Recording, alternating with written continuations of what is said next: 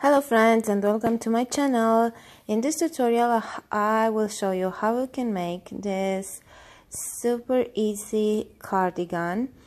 It's easy to make using simple stitches, only back loops, uh, half double crochet and you will enjoy it.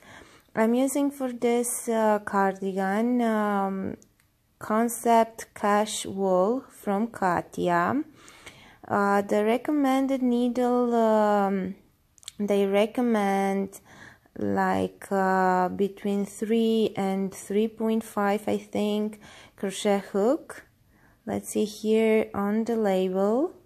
Yeah so 3 3.5 but we will use a 4.5 millimeter crochet hook or size 7 or G plus because with uh, this ribbing and being uh, wool I want it to be a little bit looser. So first what we will have to do is to make a swatch to see how many stitches we have in um, 10 centimeters square how many stitches and how many rows. This will help us to just size the, um, the cardigan properly and then when we know how many stitches we have this is the sketch for the back. Okay so we will start uh, working um, like this from one side. And then we will increase making the cross back then decrease to the same number of stitches as we had at first. Now I started with 85 um, stitches or 86 I don't know if the uh, these are the right measurements that I uh, write down here but I started with 86 stitches. Um, if you want uh, this cardigan to be longer take into consideration that you will have the brim also uh, and just measure uh, from the uh, armpit until you will want your um, your length to be for all sizes because this cardigan is available up to 5 XLs uh, sizes. So for all sizes is the same length to the armpit because then the length is uh, adjust because we are doing more rows or stitches adding more stitches with the other parts of the of the cardigan. So now I chained um, 86 then chain two more and starting with the fourth chain we will start to do one half double crochet in each stitch. In each stitch until you will get to the last two because we will start to increase with this uh, with this row just this first very first row. So when we have two stitches left in uh, the next stitch we're doing two half double crochet. And then a regular half double crochet in the last stitch we're doing the increases and then the decreases uh, letting the last stitch like a normal stitch because we have to we need to have a nice edge to make the join also uh, starting with the second row because we will work only in the back loops but always first and last stitch work it through both loops okay? We don't want not we don't need to have those uh, gaps with only one strand of yarn because we will add a border and it will be easier to work this way. Now because in this corner in this um, we will have to increase. So I made the first stitch like a normal half double crochet. And then in the second stitch you will have to do two half double crochet only in the back loop. And then continue with one half double crochet in the back loop to the end of the row we will increase on this side also on uh, on each row. So at the end and at the beginning of the row you will have to make the increases. And we will do this. See how I'm doing the last stitch? Through both loops. And then I will chain two and turn. Now the first stitch chain two at the beginning of uh, each row. Doesn't count as first half double crochet so always work the first stitch now we will continue to work one half double crochet in back loop only until we have two stitches left. And in the stitch right before the last one we will do again uh, the increase making two half double crochet only in the back loop in that stitch and then one normal half double crochet in the last stitch. And we will continue to repeat until we will have 30 rows in total. This is for size S the size that I'm wearing.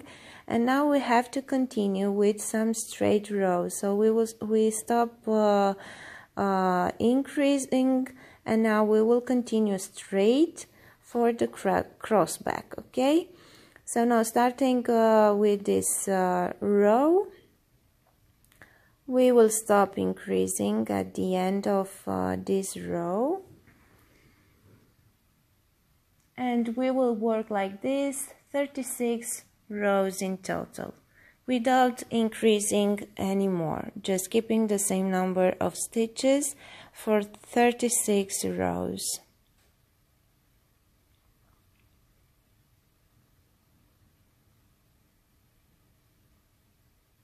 so just half double crochet just in back loop only to have this ribbing effect.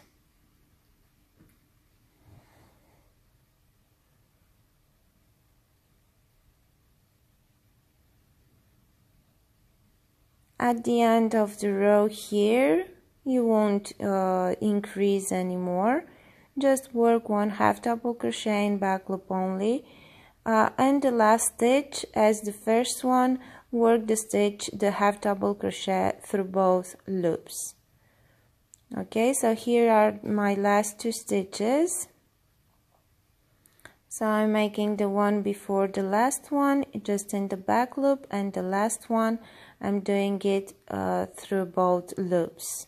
And now turn make the first stitch like a normal half double crochet and then work half double crochet just in back loop only and we will do so repeating this for 36 more rounds rows sorry so if you are counting the uh, from the beginning you'll have 30 plus 36 66 rows in total.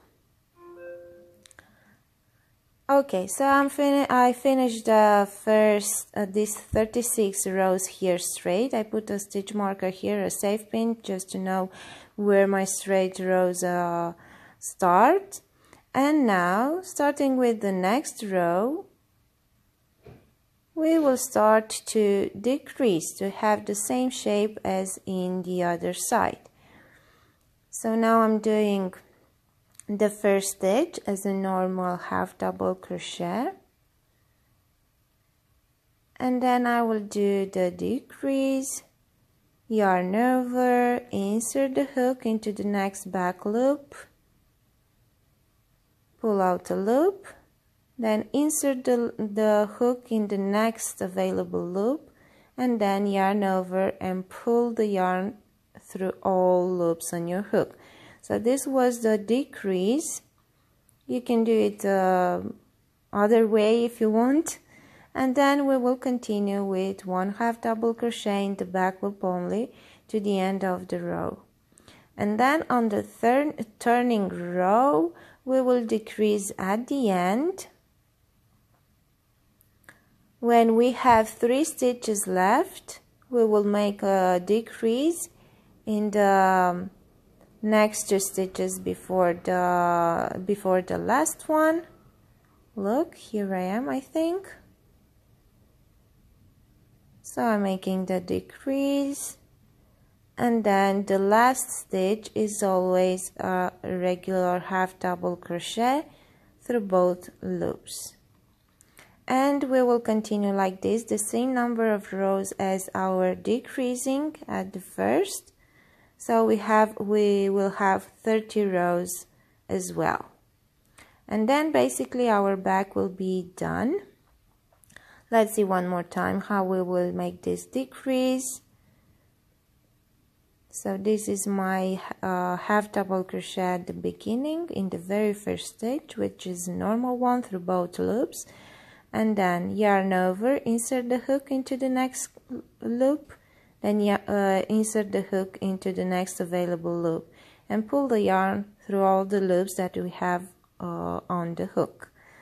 Then continue with one half double crochet in each of the next loops until you'll get to the end of the row. Okay, so here I finished the back, so I finished uh, decreasing now, so I have uh, two angles, then straight, the angle, straight, and angle. So now the back is done. uh, used to be to fit in the camera but here is where I uh, made my uh, decrease rows and uh, in the other side they are the increase rows and now we uh, can start making the front panels you can make the front panel starting with the number of rows to the armpit and increase like the first side or you can start with the uh, number with the straight rows and then decrease. It's up to you. Here I have one panel done. So it's up to you how to start. If you prefer decreasing, then start with the number of stitches that uh, uh, you have here on the longer side. If you prefer increasing then start with the same number of stitches that you start the back. And I started from here making the first straight rows first and then decreasing to the uh, end of the front panel. Now okay let's just start it and see how the front panel are done it's basically the same uh, thing as the back panel. We are not changing too much uh, too many stuff here uh, only depending on how you want to start. If you prefer increasing then start with uh, um, the number of chains that we, you need to the armpit.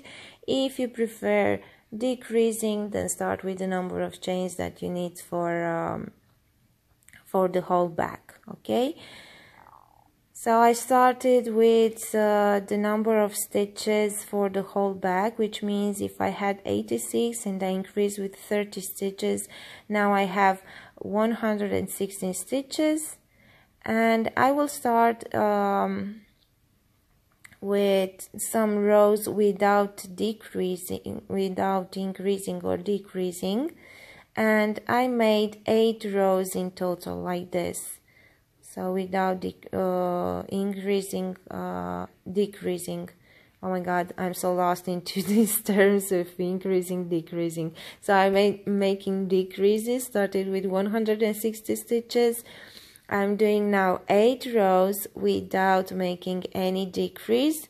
And then after eight rows i will start decrease at the beginning of the row and then uh, on only one side but uh, we will get there and I will show you right away. And basically we have to do the same numbers of rows with decreases as we did for the back panel okay? Okay. So now I'm making the straight rows. I just made one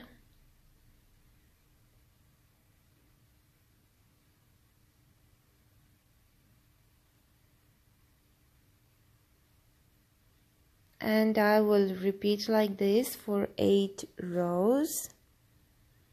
Again if you want uh, this uh, pattern in uh, bigger sizes you can find the link in the description. It will get you to my blog where you can find a pattern for sizes up to 5x large. Now I finished the 8 rows.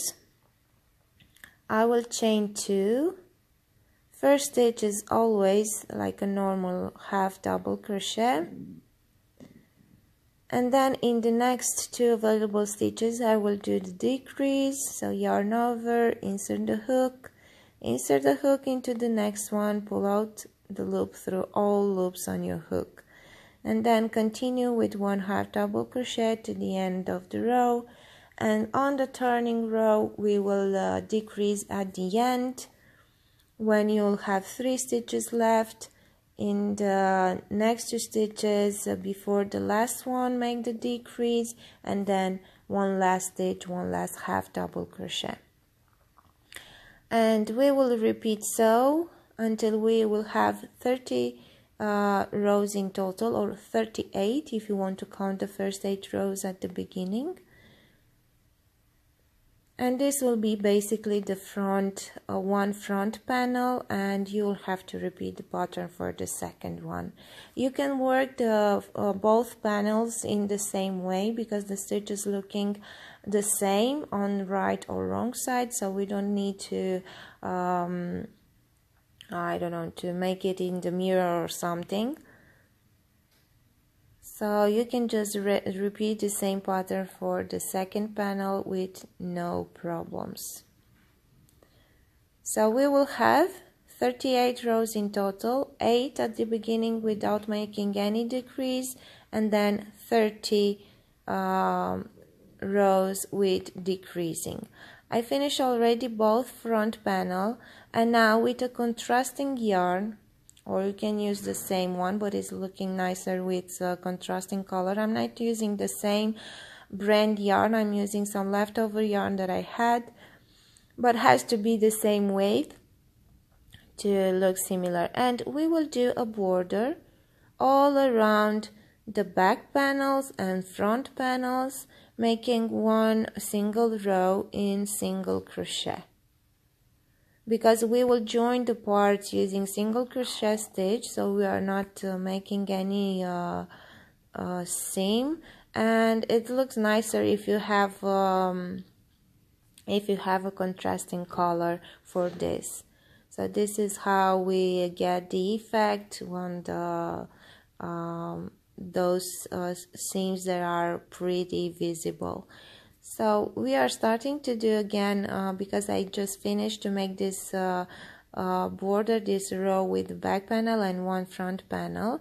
And now I will continue with uh, my second front panel to show you just how to make this uh, border especially on the side rows because uh, there is a bit of a problem because maybe um, you will find it difficult to know where to make and in how many stitches to make the um, single crochet. So I'm starting here in middle of one side it doesn't matter because we will work in round and we will stop here as well. And I'm doing one single crochet in each stitch. Until we will get in the corner and then we will see how to place the stitches on the side rows.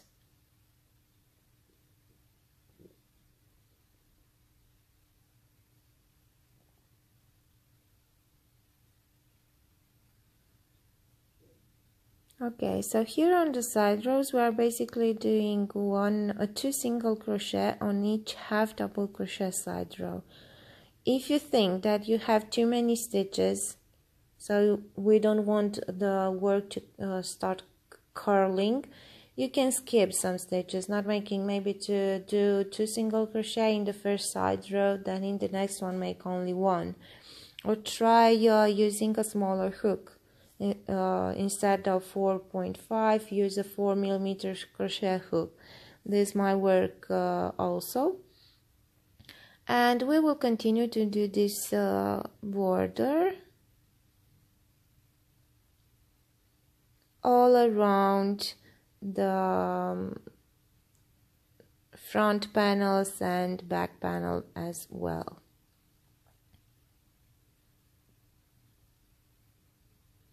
Okay now I'm done with uh, this edging. I put a stitch marker here in one side because uh, this will be the armhole. I have 30 stitches here. So count 30 stitches from this corner and put a stitch marker to know um, where you have to stop with uh, uh, connections of the front panel with the back panel. But first let's just work the shoulders here. And this will be very easy because now we are working only uh, single crochet. Also with the contrasting yarn and this basically will be the wrong side of our cardigan but if you want you can use it as a uh, right side as well. If you like it this uh, uh, joining seem to be more visible why not? So now one single crochet into each stitch but make sure that you insert your hook through both loops both sides also front panel and back panel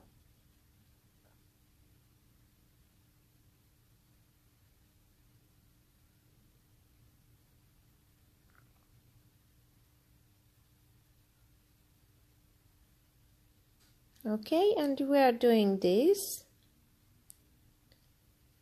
Skipping the sleeves stitches. So just make the shoulders now and then on the sides here is how it's looking after uh, making the join so this is uh, the side.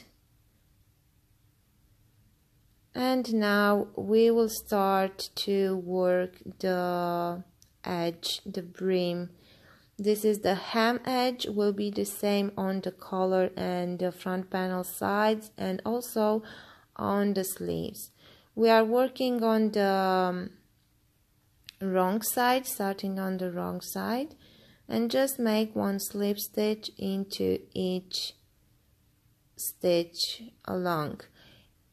I made this uh, border with uh, slip stitches only in the back loop but if you want you can choose another edge for your cardigan. Is up to you. At the end of the row just chain one and turn.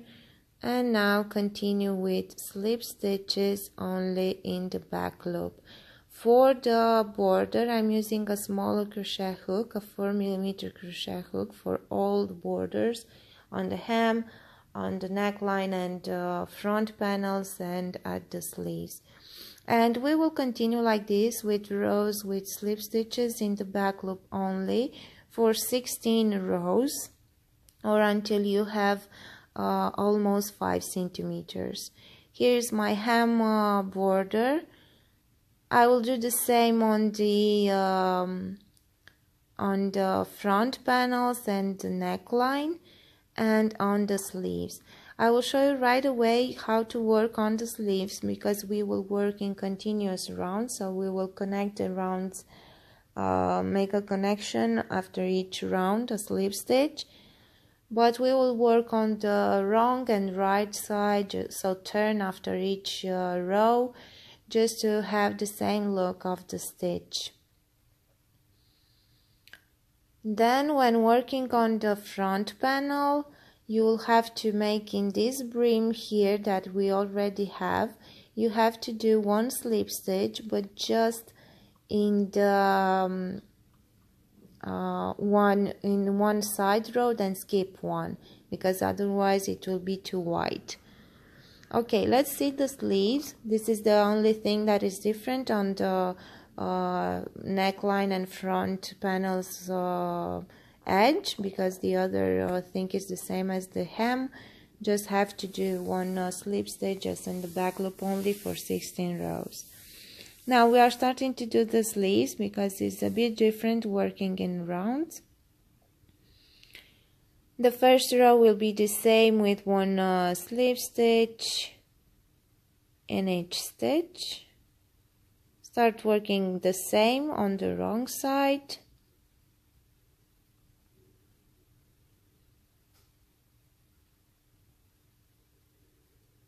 and then when we will get at the end of the row we will just uh, make a slip stitch to connect the end of the row with the beginning and then chain one and turn. So working on the wrong and right side as well because we want to have the same look as for the hem and uh, the other edges I still have a few stitches here two more stitches to the end. So slip stitch and then connect with the chain one with a slip stitch. Now chain one and turn.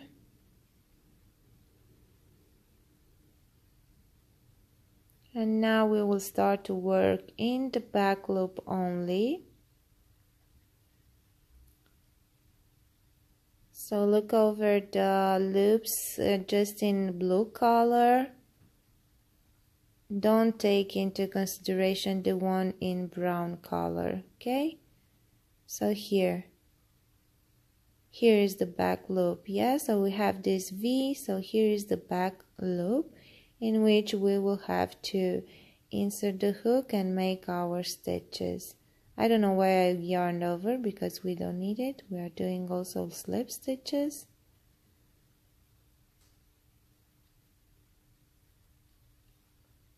Okay, so slip stitch in the back loop only.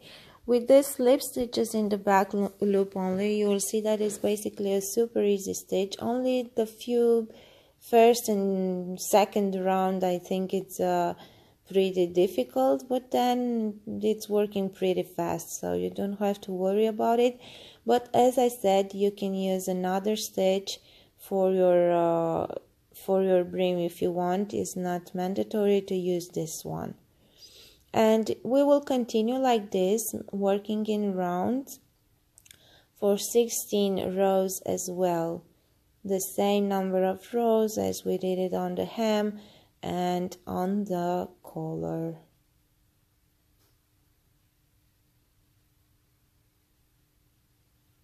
When making the join, you'll do the join with this uh, chain 1 and then uh, you will do the next stitch just in the back loop the slip stitch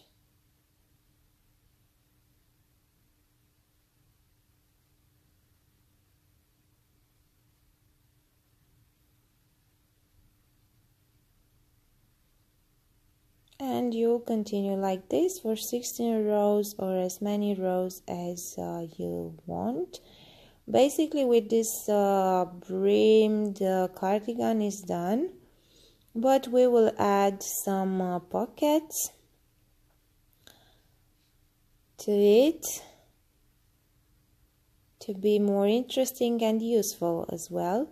I made the pockets with 30 stitches and 18 rows and then on one side I added the same brim as I did uh, with the sleeves and uh, uh, rest of the cardigan but only 10 rows I think in slip stitches. And then I put it uh, with safety pins. I um, I made the same uh, to fix it on the cardigan to be more easy to sew it so yeah 30 stitches and 18 rows. If you want bigger pockets or smaller pockets you can uh, make them uh, smaller or bigger. And you when you place the pocket you just place it the bottom just uh, next to the hem brim. And then because I have 38 rows in total for the front panel. I just let 10 and 10 rows to the edges. Okay? And now we will start sewing. I will show you how I'm doing this but uh, it's up to you. Just do it as you want. And whatever it's uh, more easier for you to do it it's bad it's a good thing the only thing that we need is that uh, we have those sorry to have these uh, pockets uh, sewed on the um, cardigan you notice my stickers that uh, my daughter put it because I was uh, a good mommy today.